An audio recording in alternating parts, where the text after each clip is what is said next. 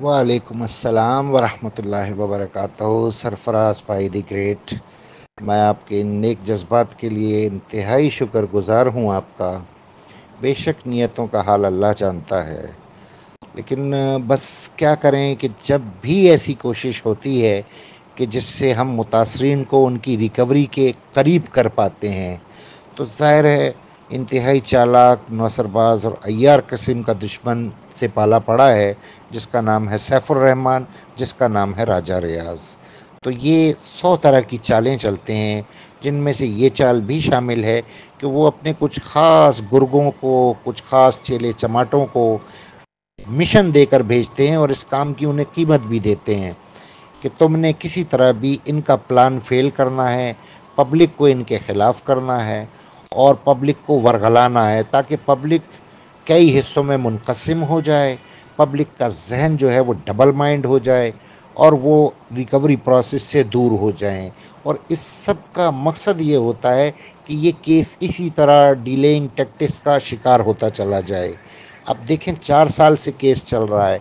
अगर मुतासरीन ने जिस वक्त वेबसाइट जो नैब की ऑफिशियल है उस पर क्लेम फॉर्म इशू किया था और पंद्रह दिन का टाइम दिया था और बाद में उसमें तकरीबन एक डेढ़ महीने की एक्सटेंशन भी की थी।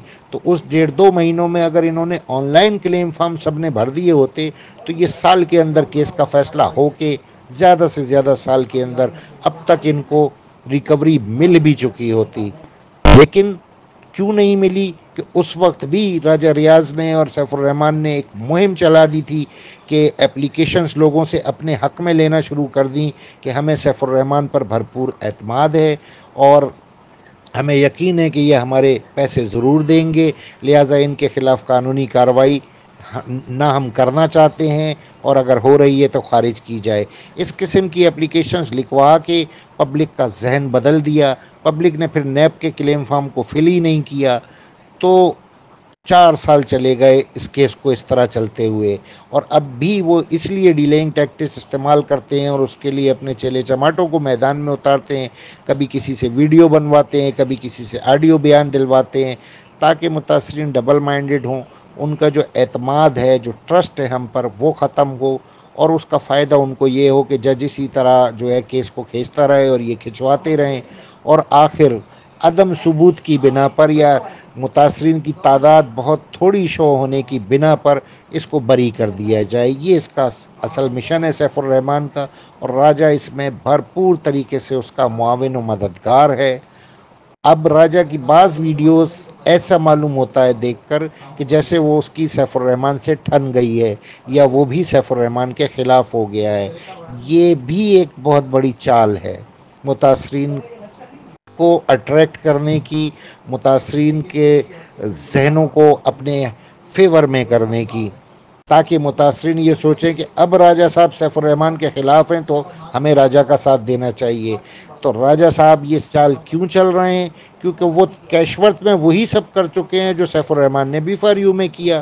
कैशवर्थ के ज़रिए राजा साहब ने भी तो अरबों रुपया लूट लिया है ना आवाम का। तो अब अगर आवाम राजा साहब के ख़िलाफ़ होती है तो फिर इनके लिए भी नैब में रेफरेंस जाएगा जब एप्लीकेशंस जाएँगी। तो ये सारे नौसरबाज, इनका कबीला एक ही होता है। सब दोस्त मेरे ये याद रखें। ये एक ही कबीले से ताल्लुक़ रखते हैं। चाहे ये बज़ाहिर लड़ते हुए नज़र आएँ, चाहे ये बज़ाहिर दोस्त नज़र आएँ, अंदर से इनके मफादात एक होते हैं। एक दूसरे को तहफ़ देना इनका मेन मकसद होता है, ताकि एक दूसरे को तहफ़ देते हुए ये लूट मार का सिलसिला जारी रख सकें। तो इस चीज़ को सारे दोस्त अपने जहन में रखें कि ये एप्लीकेशंस का सिलसिला अब रुकना नहीं चाहिए। जिस, जिससे आप लोग वाकिफ़ हैं, उनको भी आमादा करें कि भाई पोस्टल सर्विस से एप्लीकेशन भेजो, हर लिहाज से अपने आप को नैब में रजिस्टर्ड करवाओ। अब जो एप्लीकेशंस अभी तक जा चुकी हैं ना, अगर एग्जैक्ट उनकी अमाउंट मैं आपको बताऊँ तो आप हैरान रह जाएँगे। एक अरब रुपए कंप्लीट होने वाले हैं मजमू तौर पे एप्लीकेशंस के। यानी इतनी एप्लीकेशंस जा चुकी हैं कि जिनकी मजमू क्लेम जो है, वो एक अरब रुपए होने वाला है। तो आप खुद सोचें, क्या सैफुररहमान और राजा की नींदें नहीं उड़ेंगी? क्योंकि फंसे हुए ये सब एक दूसरे से हैं। सैफुररहमान फंसेगा तो डेफिनेटली राजा भी फंसेगा कि भाई ये पैसे इतने गए कहाँ? जो मुतासरीन ने क्लेम किए हैं। फिर हर बात खुलेगी कि ये पैसे कैशवर्थ में गए हैं कैशवर्थ को बनाने में गए। चलो भाई राजा, तुम भी लाइन पर आओ, तुम भी इसमें इन्वॉल्व हो। तो ये एक दूसरे की अच्छी तरह इस बात से वाकिफ़ हैं कि अगर एक दूसरे को प्रोटेक्ट नहीं करेंगे तो दोनों डूबेंगे। लिहाजा प्रोटेक्ट करने के लिए और पब्लिक का एतमाद दोबारा हासिल करने के लिए, क्योंकि पब्लिक सैफुररहमान के तो हंड्रेड परसेंट अब खिलाफ हो गई है ना। राजा के कुछ फेवर में है, कुछ खिलाफ हैं। तो अब राजा साहब ने ये ड्रामा शुरू किया हुआ है कि वो शो करते हैं वीडियोस में कि मैं सैफुररहमान के ख़िलाफ़ हो चुका हूँ। इस तरह वो पब्लिक का अतमाद दोबारा जीतना चाहते हैं, बकाया fifty, forty, sixty percent public का। और उससे फ़ायदा किसको होगा? फ़ायदा उससे सैफुररहमान को होगा।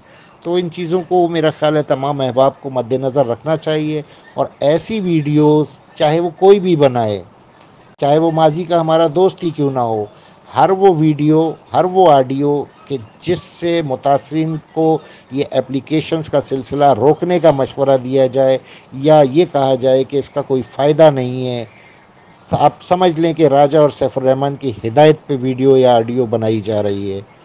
अल्लाह आप सब का हामी और नासिर हो, अल्लाह आप सबको खुश रखे और इन अज़ीज़ ये पैसा रिकवर होगा और लाजमी होगा।